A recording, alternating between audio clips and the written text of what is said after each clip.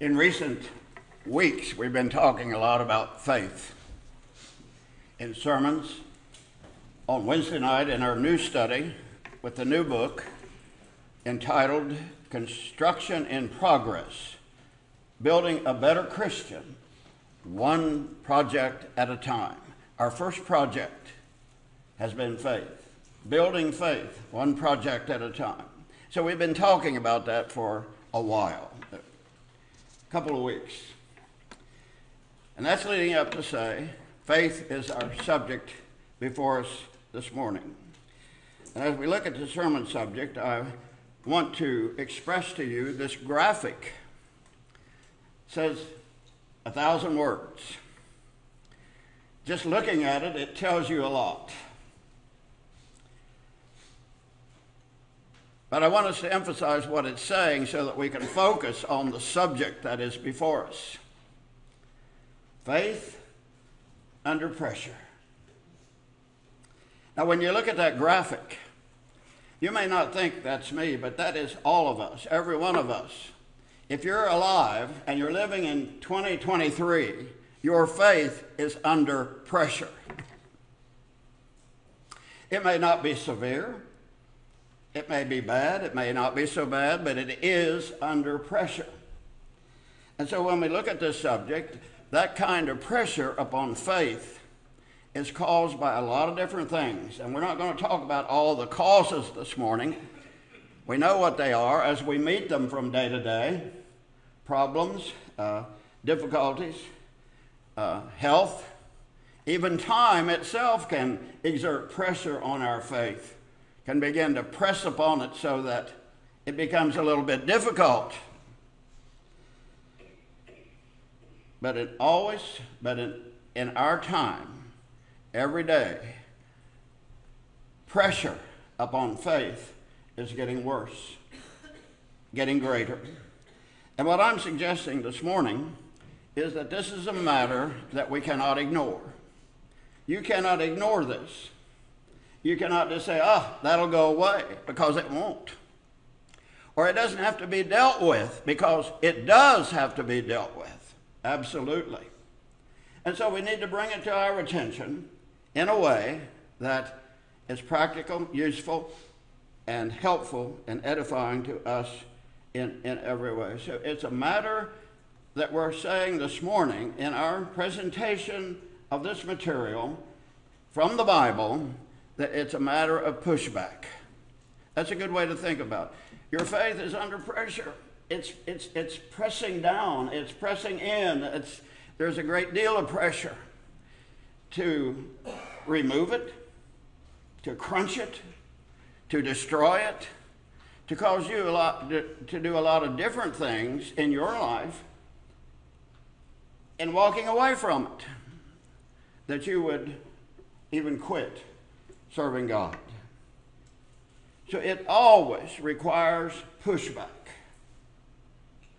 pushing back against the pressure. And so we want to talk about that, and I hope in the next few minutes in this concise presentation of this subject to give us enough information, knowledge from the Word of God to be helpful, to know what the Bible teaches, and to be able to use it. If we want to, if we want to go to heaven, we have to push back against pressure upon our faith. I'm going to answer a question first. That is, this pressure upon our faith is pressuring our faith to do what? What is it pressuring our faith to do? Well, we could go on and on with an endless list of detail, detail, detail. You know what it pressures you to do in your life. And you are very much aware of that in a very personal way every day. But what I have done for our consideration together is to condense all of these details into four words. And I'm suggesting to you, while these four words will not cover, that's, that's not our claim that it'll cover every single detail represented by everyone here. No. But it will cover enough of what is common to us what you share, what I share, what we all experience in these four words. And they're words that are understandable and they're words that can be remembered. And so by remembering these four words, you can recognize hey, that's a pressure upon my faith that has been exerted upon me by Satan himself. He's pushing against me. He's trying to push me off the cliff so that I spend eternity with him in hell. And we have to push back. But to do what? One of those things that he is pressuring us to do is to compromise. I think we all recognize that word and know what it means. Sometimes it's good to compromise. Sometimes that's the way problems are settled in a good, fair manner. But we're not talking about something of that nature. We're talking about something that has to do with our relationship with truth, our relationship with Christ, our relationship with the church. It means to make concessions. Hey, I'm going to, I'll step back. I'll let you have the point, the ground. I'll concede. So to give up, to give in, or to yield to Satan on any point that is pressuring or pushing against us is a compromise. Now, while it's good to compromise in some things, in some problems, you, we have all done that in a lot of different levels. But it's never, and I underscore never, right to compromise spiritually. To give up ground. And sometimes people compromise so much that they even quit. Just quit. That's compromise. And it's occurring in varying degrees in a lot of different lives. The second word of these four is the word please. I suggest to you that one of the things that Satan is pressuring you to do, pushing upon your faith to cause you to do, is to please people. Let's keep it in one word. And what we mean by that, of course, I think we all can recognize it means he is pressuring our faith to do or not do something. Sometimes it's doing, sometimes it's not doing so that people will like us, so that we'll please people. We'll get approval from people. But other times it means to avoid disapproval. We don't want people to think to dislike us. We don't want people to think bad about us. We don't want people to walk away from us. We don't want people to not want to be around us. And so we recognize that sometimes pleasing people is a good thing. Paul teaches this specifically in Romans 15 2, that we ought to please our neighbor for edifying. But what we're talking about here is pressure upon our faith to please people when it takes precedence over pleasing God. Sometimes we're in that very situation. I can either please this person or I can do what God wants me to do. I can either please them or I can do what God has commanded me to do. Choice. Very clear choice. Please people. And that's a pressure. But we don't want to do what's going to cause displeasure. We don't want to cause them to dislike us. We don't want to, but wait a minute. That's Satan putting pressure upon our faith to cause us to putting pleasing people above him. And that's wrong. That is wrong, folks. But that's one of the one word that can happen. We can find ourselves in that situation just about on any given day as we relate to people. The third of these four words is the word minimize, recognized by everybody. But we know what it means to minimize something. It means to make it smaller. And that's what we're talking about here, making our spiritual activity less and less a part of our life, even to doing nothing. Now, that again is a varying degree of minimizing. Sometimes we just quit. We're not reading the Bible as much. Or maybe we're not praying as often. Or we're not going to church as much. We're not going to Bible class as much. We're minimizing, minimizing. Min- and sometimes that happens and we're not even aware. And before we know it, like a lot of people have that we could identify, have quit and are doing absolutely nothing because they have been pressured to minimize and quit. So that's one way Satan works on all of us. Do less today. Don't worry about serving Christ today. You don't have to be concerned about that. You can do less and less. Don't kid yourself. You may think that, but he doesn't. The last word is the word conform. I think this represents a lot too. What Satan is pressuring our faith to do is to become like his world. He wants you to be like them. He wants you to be like him. And so we look at what Satan is and what his followers are in their lives. He puts pressure on your faith. Hey, I'm going to push on you till you become like me. Or at least to some degree, as much as I can make you become like I want you.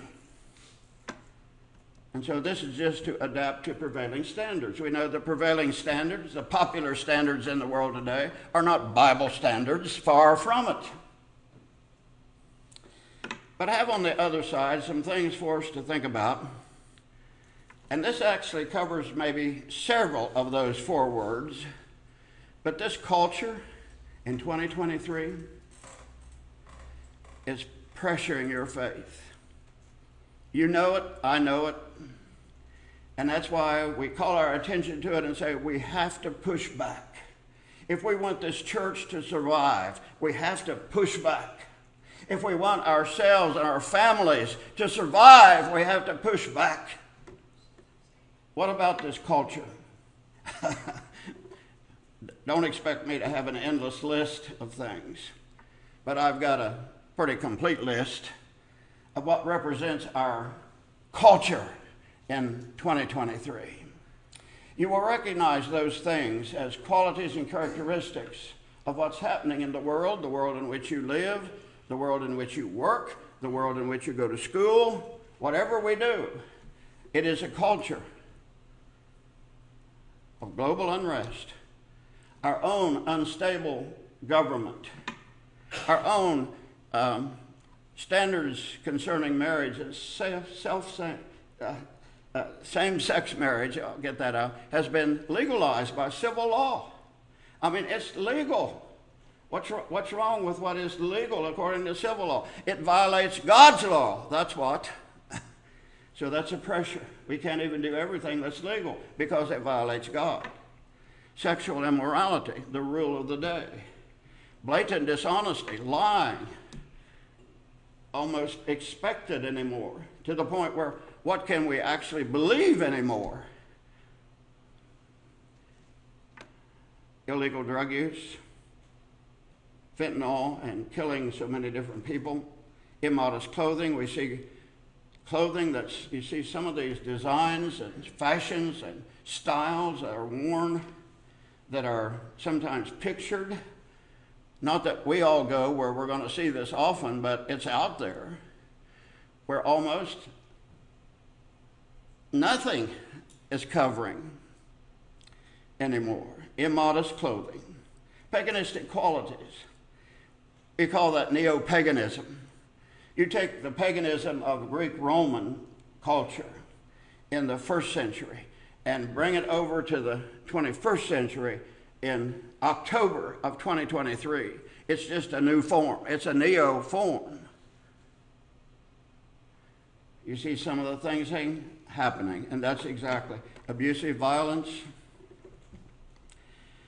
It's not our purpose to go down that list of detail of that, but just in recent days, it's raised its ugly head. The the shooting in Maine, killing 18 people, injuring 13. I think just last night there was a shooting in Tampa, Florida, killing a number of people. So it just keeps happening.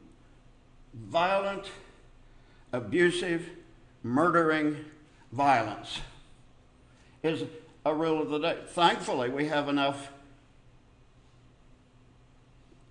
substance and structure in law enforcement yet to try to manage this. But we know what's happening in that thing. But it's not my purpose to make us feel negative about our, it's just reality. It's the way it is. It's the fact of the matter.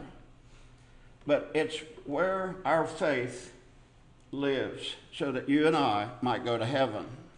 And we cannot go to heaven by conforming to that. We cannot go to heaven by minimizing our service to Christ because of that. We can't do that. Of letting the church go, quitting the church, or minimizing our attendance at church simply because things are so bad. It doesn't. It doesn't work.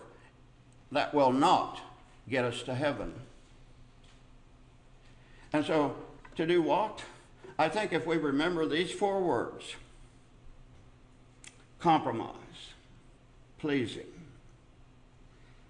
minimizing, and conforming, you will have covered most things that you're going to encounter where Satan is coming at your faith to try to crush it, to try to push it out of your life. And what that does should prepare you for a stronger faith so that we can do what we said must be done, and that is push back. Now, I'm going to spend a couple of minutes now on this matter of pushing back. And I don't want you to think I'm going to stand here and give you my opinions about that or my suggestion. Here's what I think you could. No, that's not where we're going with this. Where we're going with this is where God has taken us. And all I'm trying to do is to give us what God has said about what He wants us to know, about what He has taught us about pushing back against pressure upon our faith. And that, as you might suspect, is found in a lot of places in the New Testament. But there's one book, one epistle, where it is concentrated. And I'm going to show that to you. You can take it with you when you walk out of here if you're carrying your Bible, because it is written by the Apostle Peter. First Peter is so helpful, so useful, practical in giving us instruction on what God wants us to do to push back against this pressure. But think about the Apostle Peter, how he personally pushed back. You remember when Peter his faith was under pressure. He said, Lord, I'll never deny you. the Lord said, Oh, yes, you will. You'll deny me before that rooster crows three times. And he did. His faith was pressured to where he denied the Lord. He later regretted that. His eye contact with the Lord, you remember that account? Brought tears to his eyes and he remembered that the rest of his life. But he let Satan pressure his faith, but he pushed back. And he became one of the strongest apostles, advocates of serving Christ in the New Testament, along with Paul, of course. But where we find most of what he said is in 1 Peter. So I suggest to you to follow with me. It's going to be a quick survey of 1 Peter, where you can take your New Testament home any day, this afternoon or any day, and sit down and take more time to read these passages. But I would suggest to you that this starts in chapter 1 and verse 3 through verse 12. And what Peter is talking about here is blessing God because he has begotten us again unto a living hope. But he ends up in the 12th verse, and the, the end result of that learning from that passage is God has given us a pushback. And that pushback is a strong desire to receive the end of our faith. Our faith is being crushed, pushed against, I should say. But what's going to help me push back? Hey, that faith that's being pressed upon, a faith that's being pushed aside, has, a, has an outcome. Peter uses the word end in some translations in my 1901, but it means outcome, goal. So if you have a desire, you have faith right now, if you have a desire to actually have in your possession the outcome of that faith, you got to hang in there. you got to push back against pressures. And that's what Peter has us doing here in chapter 3, chapter 1, verses 3 through 12 receiving the end of your faith, even the salvation of your soul. That's what Peter means and puts it in so many words. Then, continuing in the first chapter, verse 13 through 25, some memorable parts in that passage, but Peter talks about having our hope set, talks about our purity talks about the preciousness of the blood of Christ that obtained our redemption. But in verses 21 and 22, Peter said, So that your faith and hope might be in God, seeing you have purified your souls in your obedience to the truth. Now, that happened to you when you obeyed the gospel. By the blood of Christ, your soul was cleansed and made absolutely pure. You want to keep that? You want to maintain that? Well, we're not sinless. We're not so perfect that we never commit sin, but we are of a mind to maintain that purity as best we can by avoiding sin, and when we do sin, to seek forgiveness. And so that determination to keep your soul pure. And by the way, that's the only way it can get into heaven because there's not a single sin, Revelation 21, not one will enter heaven. So you can't have just one when you approach the judgment seat. So that determination, I'm going to keep my soul pure. I'm not going to let Satan pressure my faith to destroy me. Chapter 2, where the apostle begins that instruction in the first chapter by putting away those bad things from our life in order that we may, like a newborn babe, with that same kind of desire, long for the spiritual milk which is without God, that we may grow thereby unto salvation or in respect to salvation. So I have a desire for that faith to grow. That's what God wants. That's what He expects. So I cannot stand by while Satan is crushing it and let that happen because I want it to do just the opposite. I want it to grow. In chapter 2, beginning at verse 5 through verse 12, the Apostle Peter goes into a series of passages, some quoting from the Old Testament. You all need to remember who you are. Have you ever said that as a parent to your child when they're remember who you are now. You're going out, this maybe the first time they've driven, first date, or something of that nature. Remember who you are, what name you have, who you represent, and a lot of different things. Well, that's kind of what the Apostle Peter is doing in this passage. Folks, when you feel that pressure crunching down on your faith, remember who you are. Remember that you are living stones that God has used to build up a spiritual house. Remember that you are a holy priesthood.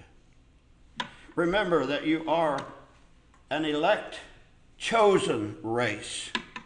Remember that you are a royal priesthood. We talked about that a few weeks ago, answering the question do we have royalty? Yes, we truly do. We're a holy nation and we are a people for God's own possession. So, all of that is to say, when I feel my faith being pushed aside, treated disrespectfully by the world and by Satan, I've got to remember hey, I'm a Christian. And as a Christian, I'm special in God's sight. I'm special in my relationship to the Lord. And this is the way He lets me know who I am, who you are as a Christian. Chapter 2, verse 12 through chapter 3. Maintaining Christian decorum in all areas. He starts with civil government. Be obedient, civil government, yes. Even in the first century, against those evil Caesars, Roman emperors, Christians were taught you've got to be obedient to civil law. At work, Peter deals with this by talking about the relationship between master and servant. And this comes as a leading part of this paragraph in verse 18. Servants, be in subjection to your masters with all fear. And that translates, of course, into our daily work relationships boss, employ, em, worker, employer, employee relationships. Christian decorum, acting like a Christian, talking like a Christian. There's never a time, never, whether at work, at home, or wherever it may be, for you to act like you're not a Christian or talk like a Christian should never talk. Never. That's your faith being pressed upon. And so maintaining Christian decorum in all areas, in the home, and he deals with chapter 3 in like manner, you wives be in subjection to your own husbands Verse 7 You husbands, in like manner, dwell with your wives according to knowledge. So there are very specific instructions for Christian decorum in home marriage relationships. In the church, finally, be all like minded, compassionate, loving his brethren, tender hearted, and humble minded, not rendering evil for evil. And then at the end, of this in beginning at verse 13. Who is he that will harm you if he be zealous of that which is good? Even if ye should suffer for righteousness' sake. There's Christian decorum when the going gets tough, when you start to hurt, when there is suffering. There is the right way and a wrong way for a Christian to act and what the Lord is expecting when that faith is being pressed upon and trying to get you to act in a wrong way, we're going to push back and maintain our Christian character, behavior, identity 24 7. And that's a part of God's pushback. Chapter 4, beginning at verse 1, going through verse 19. The first verse is very clear, it sets the tone for the rest of it. For as much then as Christ suffered in the flesh, arm ye yourselves with the same mind. What's God teaching you? Well, you're suffering, yeah. Mm-hmm. You're having some problems, yeah. Part of life, yeah. You want to go to heaven, yes then what is my pushback against the pressure from the world? I'm to arm myself, according to this verse, with what I call the mental toughness of Christ. He was mentally tough. You say he was God. Well, that wasn't a part of the picture of his being a man and him experiencing and suffering all things like you suffer. Tempted in all ways that you're tempted as a man he armed himself with a mental disposition and attitude that caused him to be able to continue to push against Satan. Chapter 5, the first eight verses. Placing ourselves in God's care. That does make sense when we come to this. You think, well, that has to be a part of this somewhere. Well, when you read through 1 Peter, that's what Peter begins to teach us in chapter 5 you will remember that in verses 6 and 7, Humble yourselves, therefore, under the mighty hand of God, that he may exalt you in due time, casting all of your anxiety upon him. Because, why? He cares for you. He cares for us, yes, he cares for you as a person. Push back against that pressure upon your faith by placing yourself under God's care, under His mighty hand in all humility, with alertness against Satan. The very next verse, that's verse 8, which we don't have quoted because probably most can remember its content. Because what Peter said in 1 Peter chapter 5, verse 8, be sober, be watchful. Your adversary, as a roaring lion, walketh about, seeking whom he may devour. A roaring lion is a hungry, devouring lion. And he's walking about, seeking to devour you. So we have to be on our alert because he, he, he can pressure you just a little bit each day. You know, it's not so bad. Just a little bit today, a little bit tomorrow. But before you know it, we've given in, we've compromised, we are pleasing people, we are conforming to the world we have to push back. And then finally, at the end of 1 Peter, he says, withstand, knowing that you're not in this fight alone. It's not just you, it's not just us. There are Christians like us all over the world, all over this country, all over the countries around the world. And some having a lot more trouble than we're having a lot more difficulty, a lot more pressure upon their faith than we're having. But what is Peter's instruction to push back? Withstand it. Withstand it. Don't quit. Don't give in. Don't yield. Don't compromise. Don't walk away. Don't concede. Stand for the truth.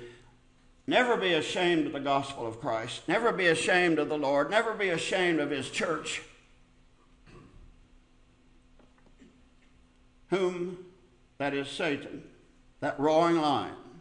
This is verse 9, the very next verse. Withstand, steadfast in your faith.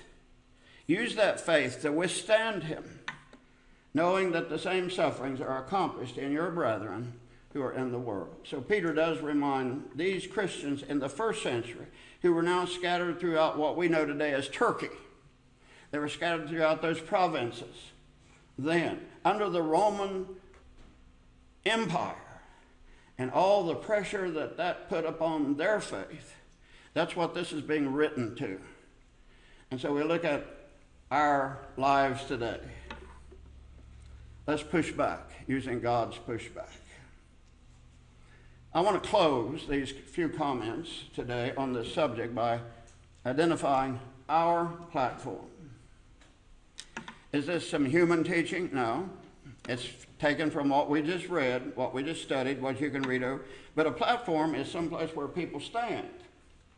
Literally, figuratively, people stand on a platform. Well, what I mean by this is where we're standing spiritually, what we stand for here. We've got to be together on this. We've got to be a church in unity on this, having a common goal for this. Recognition of pressure. Let's recognize this is true. You say, well, you don't have to convince me of that. I know that very well every day. Well, well, good. I'm glad you recognize that. We are to withstand by using God's pushback, not a human reasoning, not a philosophy. Sometimes people rely so heavily upon a positive thinking philosophy if we just think positively, it will, well, that may help. But it's not God's way of pushing back against pressure upon our faith. So we withstand by using God's pushback. We function with strength from Christ's example. Notice when you read through 1 Peter, how often Peter makes reference to Christ and his suffering. Christ's second coming is looked to for the end of our faith, for the goal of our faith. We know when that's going to happen, and that's what Peter said in the first chapter that, that, that when he comes and when at the revelation of Jesus Christ, that here's the way the passage puts it You may be found by him under praise, glory, and honor at the revelation of Jesus Christ. That's his second coming. That's when he's going to appear. When the world is going to end, when judgment is going to occur, the dead have been raised, and all are going to be gathered before the judgment seat, and we're going to spend eternity somewhere. You want to be found under praise. You want to be found under honor. You want to be found under glory in Jesus Christ. So that's what Peter has been doing all through the thread of thought in 1 Peter, taking us through this in order that we might be able to withstand. Through love and unity, we help one another in this fight. Peter has brought them together. He should bring us together through this passage, not through some human ordinance or human law or human carnal attraction, but through basic love of God, love of Christ, love of His church, love of truth, and love of one another. We want it to work. We want this church to be strong. We want this church to consist of strong families, strong individuals who are strong in Christ, who are living their life in service to Him and dealing with pressure that is upon their faith. I told you that graphic would represent and say a lot with a lot of words just looking at it. That's happening to your faith right now to some extent. To some extent, it is because you're alive in this culture, in this world, your faith is being pushed upon. To what degree is entirely up to you. And that's determined by how much you're able to push back. We're going to sing this invitation song, and there may be someone present in this audience today that desires to respond to the invitation of the gospel of Christ. We stand ready to help you. If anybody desires to be restored back to faithful service by going to God in prayer for forgiveness of sin that has been committed,